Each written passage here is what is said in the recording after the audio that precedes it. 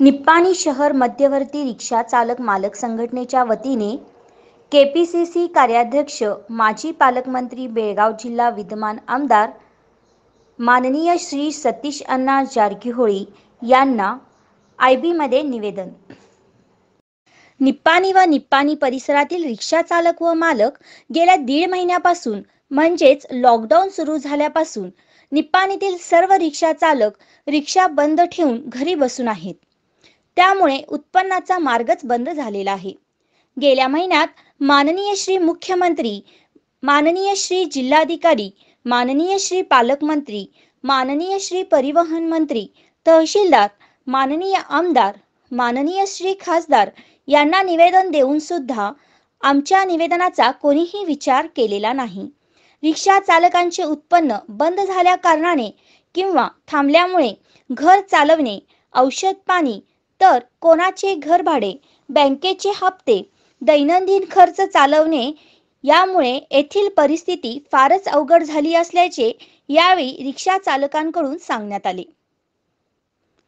सामान्य रिक्षा चालक वर्षाकाठी सरकारला कमीत कमी इन्शुरन्स पासिंग टॅक्स दहा हजार ते बारा हजार रुपये प्रत्येक रिक्षा चालक भरतो.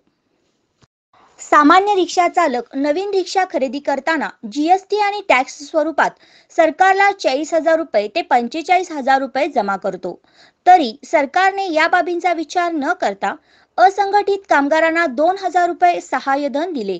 पण येथील रिक्षा चालकांचा विचार केलेला नाही. दिल्ली सरकारकडून ज्याप्रमाणे प्रत्येक रिक्षा चालकास पाच हजार रुपये अनुदान मिळाले आहे त्याप्रमाणे आम्हालाही हे अनुदान मिळावे.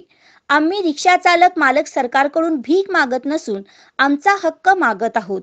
आणि जर अशीच परिस्थिती कायम राहिल्यास पुढील काळात रिक्षा चालकांना आत्महत्या केल्याशिवाय पर्याय राहणार नाही. याला पूर्णपणे बेजबाबदार सरकार ही जबाबदार राहील. आम्हाला सरकारकडून कोणतीही मदत न मिळाल्यास पुढील काळात रिक्षाचा इन्शुरन्स भरणार नाही रिक्षा पासिंग करणार नाही टॅक्स भरणार नाही. याला संपूर्ण सरकार जबाबदार राहील. तरी रिक्षा चालकांचा व मालकांचा कोणीही सहानुभूतीपूर्वक विचार केलेला नसल्यामुळे कोणतीही मदत मिळालेली नाही असे यावेळी सांगण्यात आले.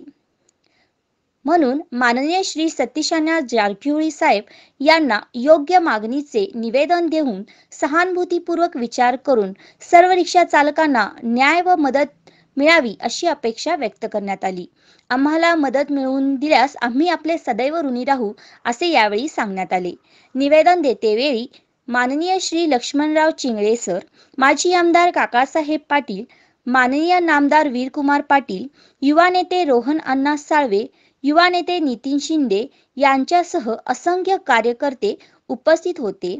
तसेच तसेच निपाणी शहर मध्यवर्ती रिक्षा चालक मालक संघटनेचे अध्यक्ष श्री प्रकाश जाधव व सेक्रेटरी गजानन खापे उपाध्यक्ष अजित सटाले खजिनदार शामराव टिकारे व सदस्य प्रकाश घोडके प्रवीण उथळेकर गणेश झेंडे अनिल केसरकर संजय शास्त्री चेतन राजपूत यांची उपस्थिती होती.